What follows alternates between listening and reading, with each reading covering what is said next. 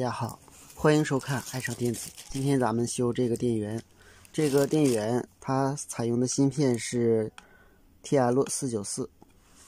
我们大家都能看到它的驱动电阻以及它的功率管 J 幺三零零九都已经损坏了。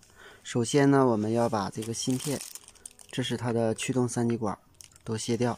卸掉以后呢，我们先把这一部分电路给它恢复。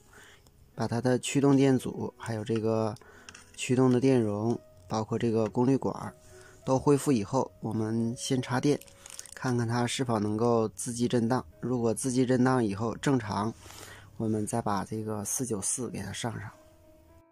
我们看这两个电容基本上都鼓包了，所以这两个电容必须换。这个电阻也已经烧毁了。这两个二极管测量没有问题。总之，基本上都换一遍就可以了。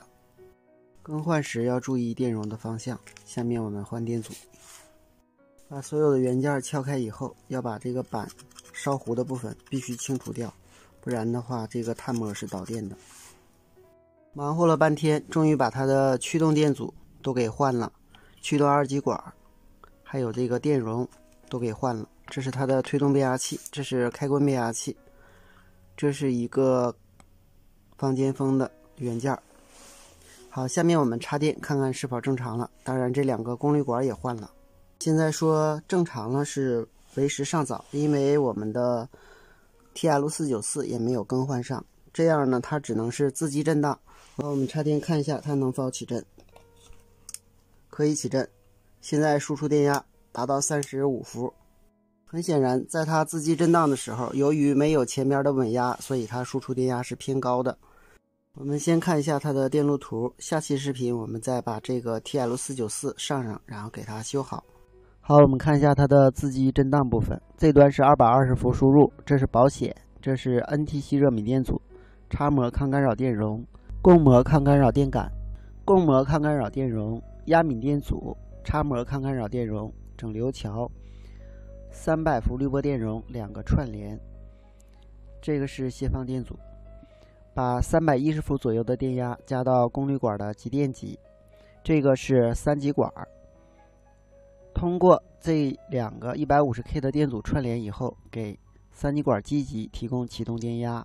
这时上管开始导通，电流方向是三百一十伏，三极管的极电极、发射极通过这儿，通过这个初级绕组，然后通过开关变压器的初级绕组，通过这个电容。给这个下边这个电容充电，由于推动变压器的正反馈，随之这个三极管呢就进入饱和导通。当它饱和导通时，由于电感线圈上的感应电动势不再增大，所以就消失了。消失以后呢，由于电感有阻碍电流减小的作用，所以感应电动势导向，这端为负，这端为正，上管截止，下管开始导通。下管导通的时候，它是把下边这个电容上的电。通过这个电容，然后通过变压器的初级绕阻，通过这个推动变压器的初级绕阻，然后下管的极电极、发射极到负极，同时在变压器上产生感应电动势，感应给这个线圈，很显然是左正右负，加到这个三极管的极极，使这个三极管饱和导通。当它饱和导通以后，感应电动势消失，再次导向上管导通，下管截止。总之，这两个管呢是交替导通，如此往复循环以后呢，就在开关变压器初级产生交变的电流，从而产生交变的磁场，感应给后级，向后级输出电压。这就是它的自激震荡过程。好，今天咱们就到这里，谢谢大家，再见。